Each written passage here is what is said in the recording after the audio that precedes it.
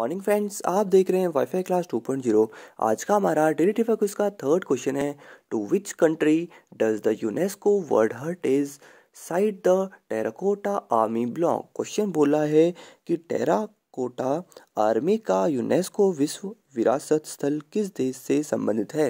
Right answer हो जाएगा हमारा option number third China I hope friends आपको वीडियो पसंद आई होगी।